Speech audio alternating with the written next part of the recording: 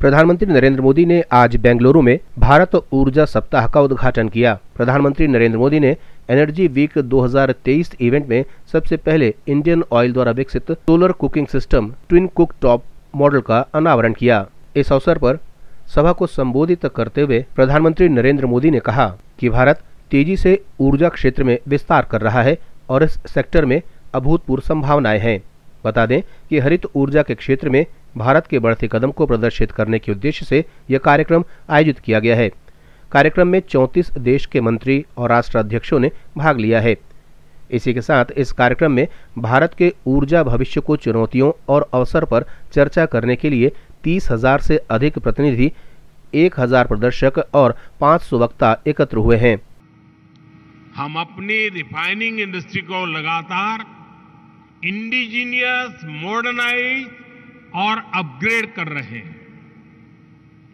हम अपनी petrochemical production capacity को बढ़ाने की दिशा में भी बहुत तेज़ी से काम कर रहे हैं। भारत के रिच टेक्नोलॉजी पोटेंशियल और ग्रोइंग स्टार्टअप इकोसिस्टम का उपयोग करके आप सभी अपने एनर्जी लैंडस्केप का विस्तार कर सकते हैं। साथियों, हम 2030 तक अपने एनर्जी मिक्स में नेचुरल गैस कंजम्पशन को बढ़ाने के लिए भी मिशन मोड पर काम कर रहे हैं। इसे 6 परसेंट से बढ़ाकर 15 परसेंट करने का लक्ष्य तय किया गया है।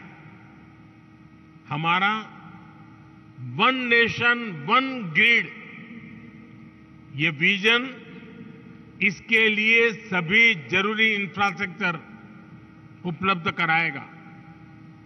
हमारा प्रयास है कि एलएनजी टर्मिनल रीगैसिफिकेशन क्षमता को बढ़ाया जाए। 2014 में हमारी क्षमता 21 एमएमटीपीए की थी, जो 2022 में करीब दोगुनी हो गई है। इसे और बढ़ाने के लिए काम जारी है। Bureau report, TCP 24